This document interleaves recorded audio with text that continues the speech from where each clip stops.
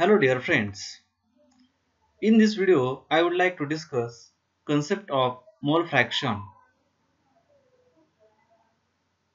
A homogeneous mixture of two or more component is called solution and the concentration of solution is expressed by using various terms such as normality, molarity, molality, mole fraction, weight fraction, percentage, etc. In this video, I would like to discuss mole fraction. First, we discuss what is meant by mole fraction. The mole fraction of any component of a solution is defined as the ratio of number of moles of that component present in solution to the total number of moles of all the components of the solution. Mole fraction is the ratio having number of moles of a particular component to the total number of moles of all the components in the solution. And mole fraction is temperature independent quantity and it has no unit. Now if we consider a binary solution is made up of two components that is component A and component B. Suppose it is made up of Na moles of component A and Nb moles of component B then mole fraction of component A is equal to XA is equal to Na divided by Na plus Nb. This XA represents mole fraction of component A and mole fraction of component B that is XB is equal to NB divided by Na plus Nb. That means by using this formula one can obtain the mole fraction of a particular component in solution.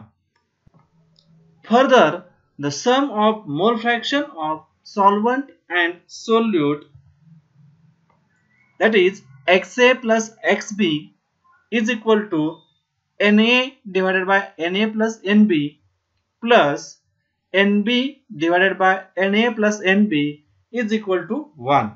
That means sum of mole fractions of all components of solution is always unity sum of mole fraction of all component is always unity. Now let's discuss how to calculate mole fraction of the component of the solutions.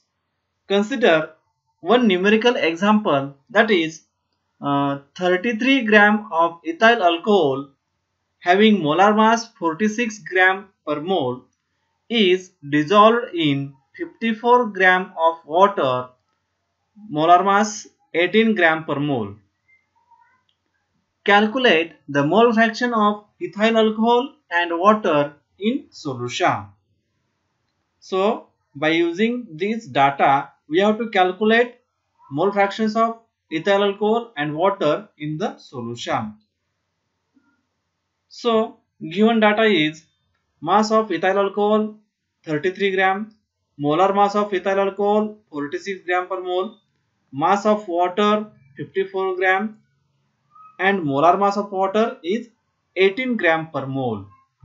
So we have to calculate using this data mole fraction of water that is XA and it can be obtained by this formula that is Na divided by Na plus Nb. This Na represents number of moles of component A and Nb represents number of moles of component B. Similarly, we can find mole fraction of ethyl alcohol that is Xb which is equal to Nb divided by Na plus Nb. So, for calculating mole fractions of water and ethyl alcohol, first we have to find out number of moles of each component means water and ethyl alcohol moles of water that is Na is equal to mass of water divided by molar mass of water. By substituting the values of mass of water that is 54 gram, molar mass of water that is 18 gram per mole, we get number of moles of water that is Na in the solution is equal to 3.0 mole. Similarly, we calculate number of moles of ethyl alcohol in the solution by using this formula. Means mass of ethyl alcohol divided by molar mass of ethyl alcohol. So, NB is equal to 33 gram divided by 46 gram per mole which is equal to 0.7 mole.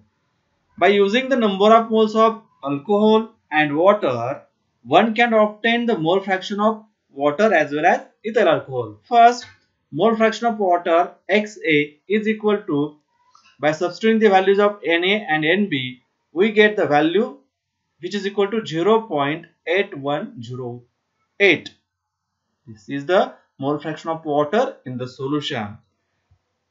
In the similar way we can find mole fraction of ethyl alcohol that is XB is equal to 0.7 divided by 3.0 plus 0.7 is equal to 0.1891. So, in this way, one can obtain the mole fraction of each component present in the solution. Thank you. This is about mole fraction and its calculation.